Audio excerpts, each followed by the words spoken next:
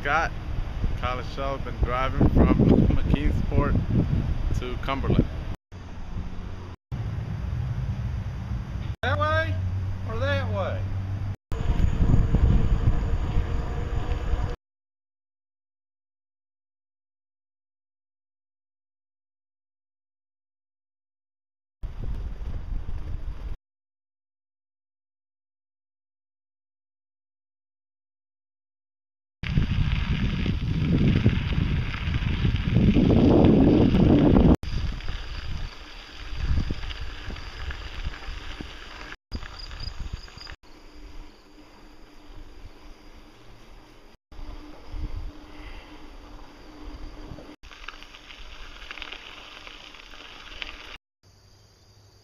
It's kind of cool this morning. It's in the 50s, probably 57, 58. I'm cozy under a JRB Stealth, no sniveler. Sun's up. This is our stealth camp. Here's uh, Jimmy Neutron's rig. Using a beautiful tarp provided by OES. Thank you, Brian.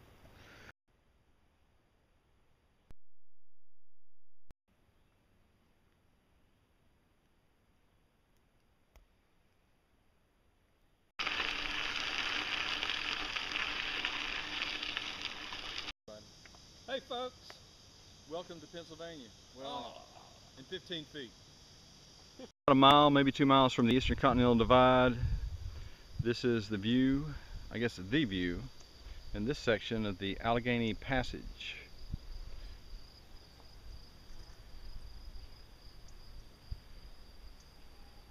This is the longest tunnel on the Allegheny Passage. It's over 3,400 feet long. And luckily for us, the Park Service has provided lighting. Uh, Jimmy's studying the Big Savage Tunnel.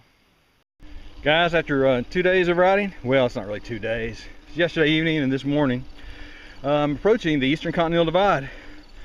And Garmin's reading 23, 41, 42, and you can see I've got just a few more feet to go. This is the highest point on the Allegheny Passage.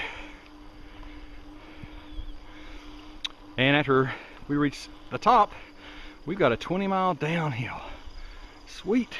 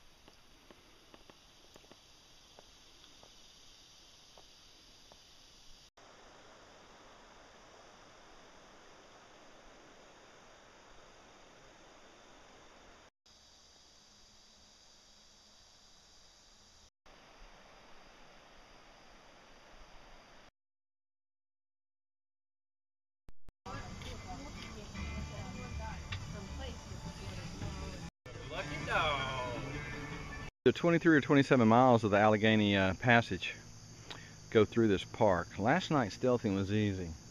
Tonight's going to be more interesting.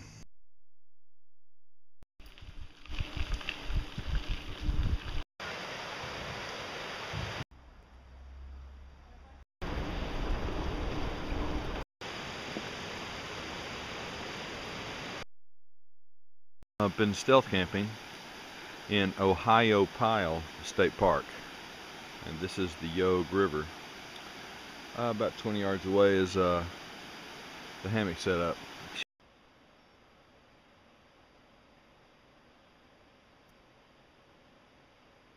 Ah, Medicine Man's stealth site. Still on the Fargo.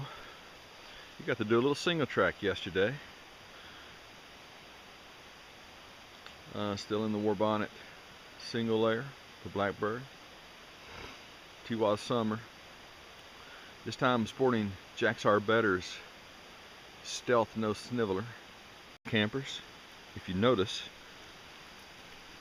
No metal racks. No panniers. Tell you a little bit more about that once I get everything loaded up for today's ride. I got this glow from hell super neon CamelBak for use on the KLR. But hey, it works on a bicycle too.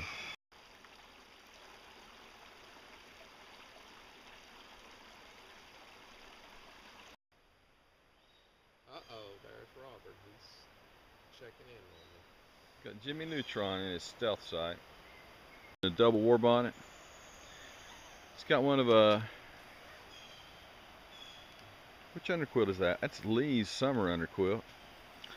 Inside, Jimmy's using a Nunatak Arc Edge rated to 45 degrees.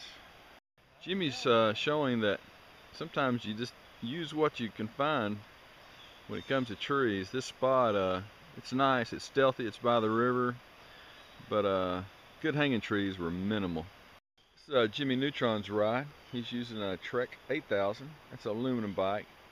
Uh, lifetime warranty on the frame. He'll probably never get to use that. Pretty solid bike.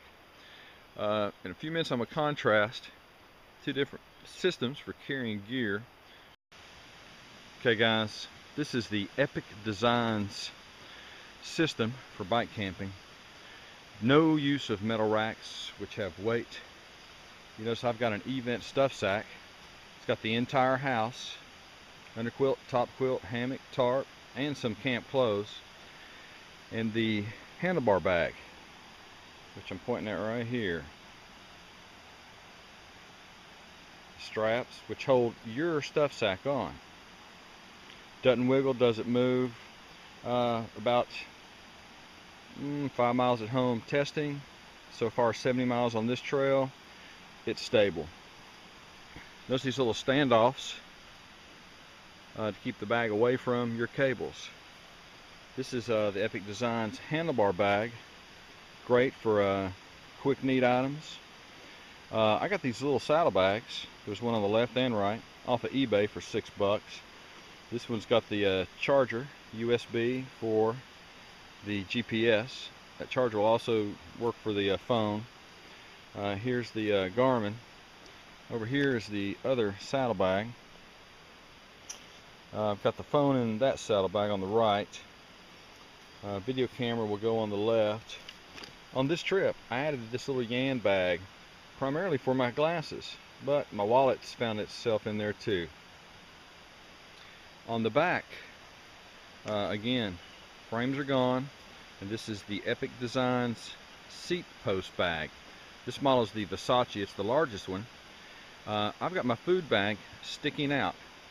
I want to show you guys, uh, that's still three days of food in there. And I'll show you when it's buckled up here in a second. Down in the apex of the seat post bag, I do have a couple of items of camp clothing. And I've forgotten my seat, my little sit pad, the Therm-a-Rest, but you can see it rolled up and crammed in there. I use that. Okay, here's the uh, Epic Designs seat post bag, cinched down. It doesn't sway. You see it attaches to the seat rails and to your seat post, uh, well off the uh, rear tire. And that replaces yet another metal rack.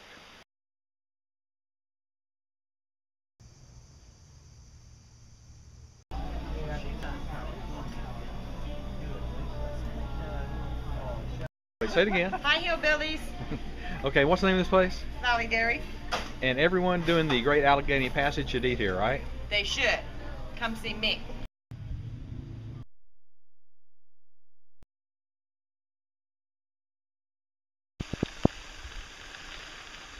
There he goes. Mile Milepost 100. That wonderful breakfast is finally kicking in from the Valley Cafe, thank goodness. I've had rubber legs ever since.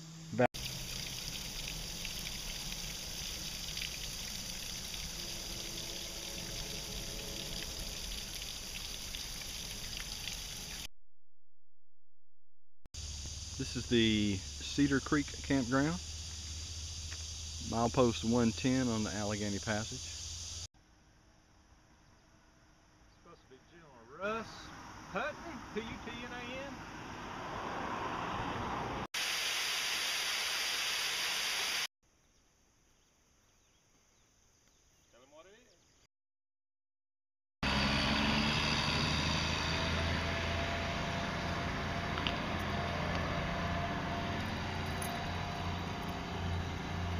The end of our Great Allegheny Passage experience, uh, ending at 132 miles.